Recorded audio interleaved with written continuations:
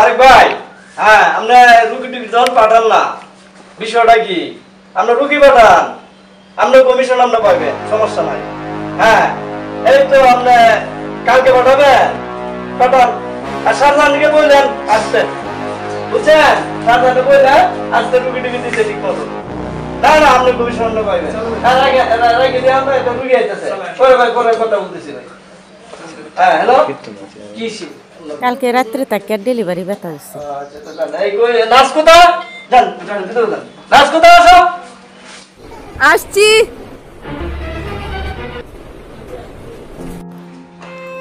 ইস আল্লাহ আর পারতেছি না আল্লাহ উফ, বিরাট ব্যথা করতেছে মা ও মা ইস আল্লাহ উফ, উফ, ও মা করতেছে ইস ও এহ, এরকম আকাম কেউ করে সে একটা নিজেই বাচ্চা মেয়ে তার পেটে আরেকটি বাচ্চা এখন মেয়েটা তো বাচ্চা নেই কঠিন হ্যাঁ অভিভাবক কোথা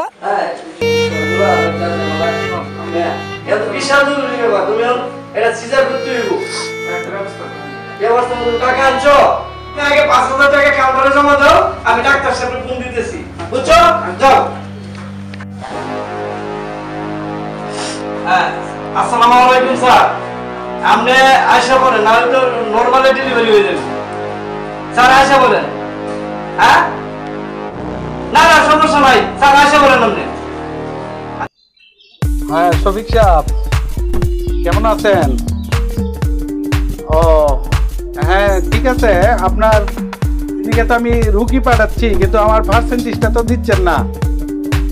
আপনার সকল আরে ভাই রুগীদের যদি কোনো পরীক্ষা নিরীক্ষার প্রয়োজন নাও পড়ে তারপরেও তো আমি পাঠাচ্ছি। আপনার কথা ছিল ফিফটি পার্সেন্ট দিবেন।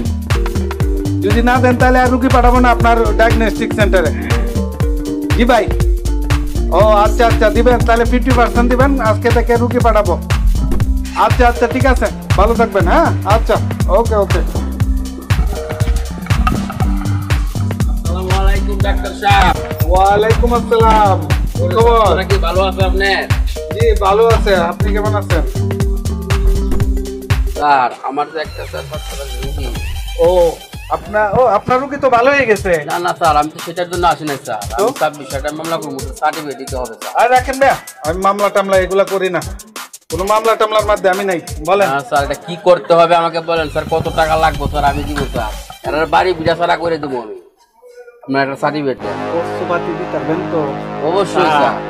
টাকা নিয়ে কোনো চিন্তা করেন না স্যার। শুধু আমার বড় ভাই কি বলে আপনি শুধু খালি ওইভাবে কাজ করে যান। আমার বড় ভাই যা টাকা লাগে সবই দিবে। শুনেন। আপনি হইলেন আমার অনেক কাছের লোক অনেক প্রিয় লোক। সবার কাছ থেকে এক লাখ নেই ছাব্বিশে মামলা সার্টিফিকেট দেওয়ার লাগিয়া। আপনি না হয় আমারে পঞ্চাশ হাজার টাকাই দিলেন। জি স্যার। তো বিকালে যদি টাকাটা আমার অফিসে পাঠাই দেন আমি ছাব্বিশের মামলা এখনই গিয়ে রেডি করতেছি আমি একটা চেক পঞ্চাশ হাজার টাকা চেক লিখে দেবো সব সম্মানে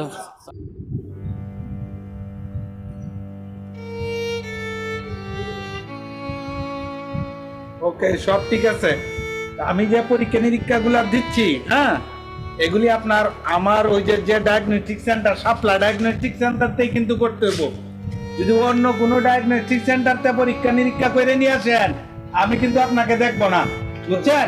একের ঠিক এই ডায়াগনস্টিক সেন্টারে যাবেন, এখনই চলে যান, টাকা পয়সা নিয়ে। হ্যাঁ এটাও ঠিক আছে, হবে হবে, যান। এই, ঠিক আছে?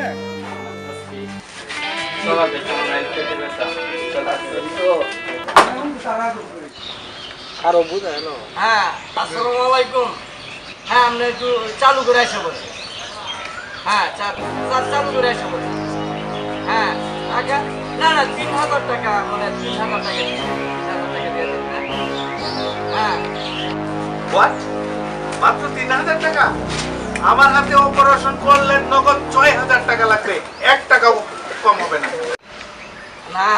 আরে স্যার এটা তো মূলত অ্যাডভান্টেজের ব্যাপার না।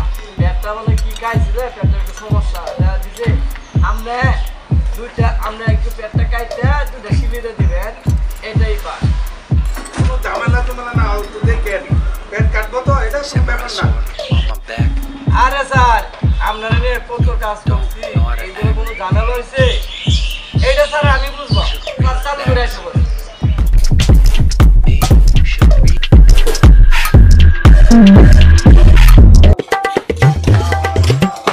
আদায় করছে কাকু ভাড়া তাড়াতাড়ি বাড়ির জায়গা।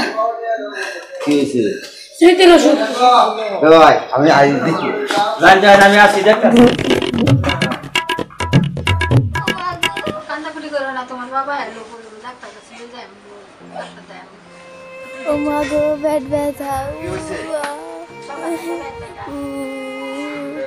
আল্লাহ গো।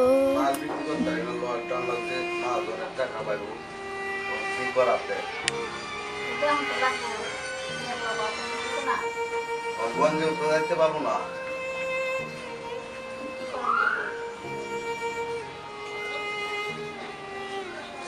বিক্রি করে তা? বিক্রি করে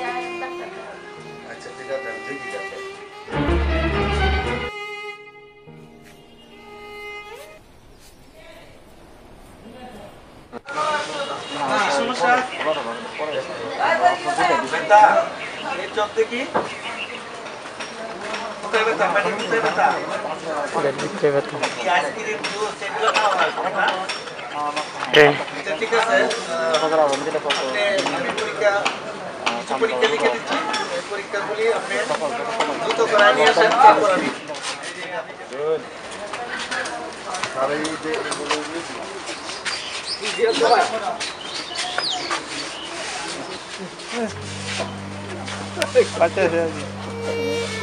রিপোর্ট করে আসেন তাহলে না।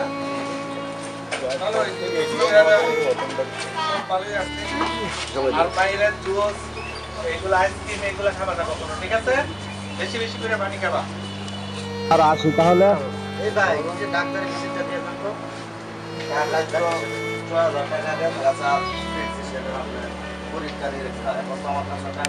না না এসব বললেই তো ভাই হবে না।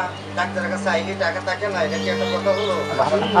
আপনি কেন তিনশো টাকা? আপনি দেখেন না এখানে লেখা আছে পাঁচশো টাকা শুদ্ধ কথা শুনে আমি আপনি কেন আমি ডাক্তারের কাছে আইলে আপনার টাকা থাকে না? এটা কথা? টাকা দিয়ে যান। টাকা তো হবে না। চুপ করো।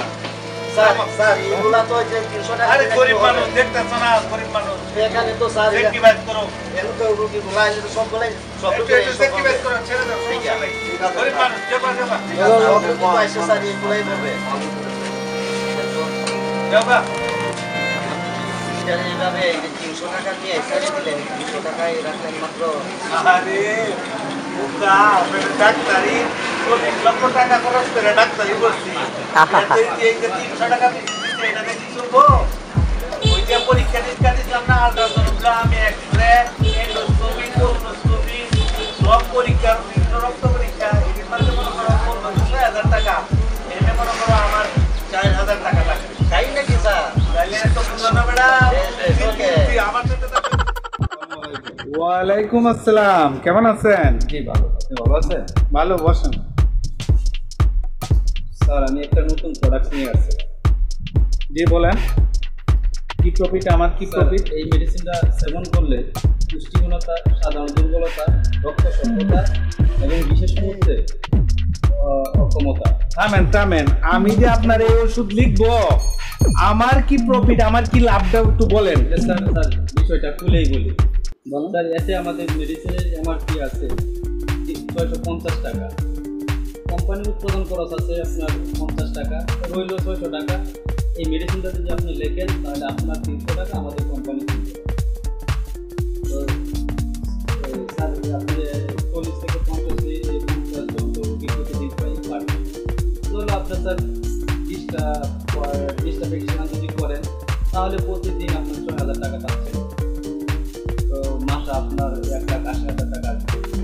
আরে থামেন থামেন। আমার লাভের হিসাব আপনার করতে হবে না। আমি ওষুধ লিখব আপনি প্রতি পিস আমাকে তিনশো টাকা করে দিবেন। তাহলে স্যার ওষুধটা আপনি লিখছেন তো। আচ্ছা এই যে পঞ্চাশ টাকার ওষুধ এটা কোনো কাজ করবে তো? স্যার বুঝে নেই তো। পঞ্চাশ টাকার ওষুধে কি আর কাজ করে আচ্ছা কাজ না করুক ক্ষতি তো আর হবে না। স্যার এটা এই ওষুধটা খেলে ভালো হবে না আবার কেউ মারাও যাবে না।